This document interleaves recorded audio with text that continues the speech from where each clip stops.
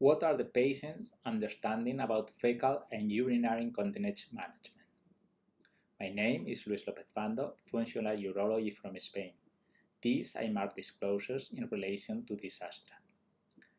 Digital transformation has redefined the way patients and providers communicate and obtain health information.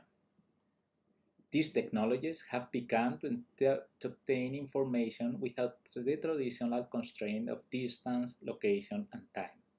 A growing body of evidence supports the use of digital health technology from improving patient education and implementation of skills and behaviors integral to lifestyle medicine. Clínica Urolf is a website leader in functional urology in Spain through online interaction, we pursue relevant patient information in relation to functional urology to achieve this transformation.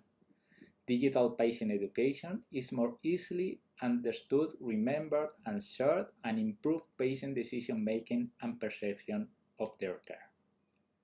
Combined fecal and urinary incontinence is not uncommon and its pathophysiology involves multiple factors. These patients should be evaluated by a multidisciplinary group of specialists and should be offered appropriate measures to improve their quality of life. The main objective is to analyze the level of knowledge of the population about urinary and fecal incontinence management. The secondary objective is to educate and inform the population about incontinence through the answers to the question posted in the form. An online survey was performed to evaluate the knowledge of fecal and urinary incontinence in general population. All the cases were recruited in people who respond to an online survey posted on a website based on functional urology. An ad hoc self-reported questionnaire was specifically designed to obtain the main objective of the study. The statistical analysis was performed with SPSS, the online survey was posted on a website based on functional urology and on social media to enhance the impact. The results were obtained for more than 4,000 sessions. 2,500 started the survey, and 1,000 finally answered the total survey. To obtain the previous mentioned results, 600 euros has been invested. When the campaign started, it began to be shown equally both genders. However, women tended to respond more frequently.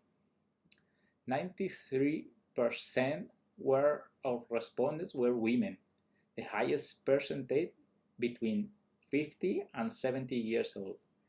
The data collected is quite representative since the regions with the largest population are those who have obtained the most responses. Around 40% of those surveyed have university or higher studies, while around 50% of those surveyed have only a school graduate or higher degree. Regarding urinary incontinence, the first question was if stress incontinence only affects women. According to the response obtained, 80% do not agree with this statement. The second question was if urinary incontinence has no solution and you have to find the best absorbent. 93% think that this statement is false. When we ask about self-help tips to relieve urinary incontinence, more than 80% think that the performing pelvic floor exercise with advice is the best measure that can be taken to improve incontinence. The next measure, with the highest percentage of response, is lose weight and avoid constipation with 54% of the responses, followed by avoiding the, consumes, the consumption of tobacco, coffee, tea, or alcohol, or increase the consumption of red fruits and probiotics.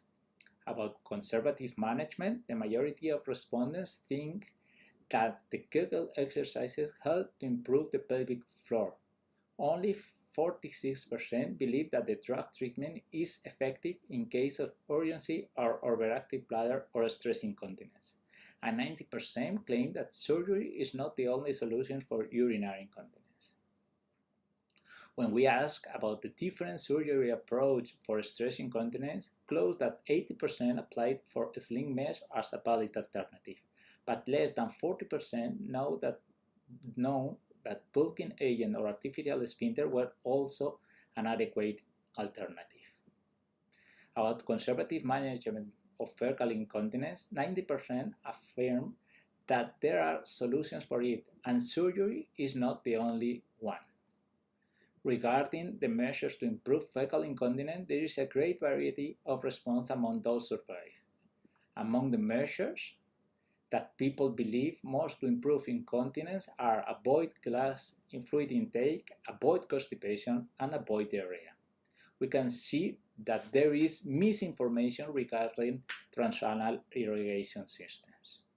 There is a considerable variable in knowledge about urinary incontinence management. However, this is also much significant concerning fecal incontinence. The participation of women in this questionnaire has been majority compared to men. Knowledge of the treatment of urinary incontinence is far superior to that of fecal incontinence. There is some heterogeneity regarding the knowledge of some conservative measures to improve urinary and fecal incontinence. Thank you.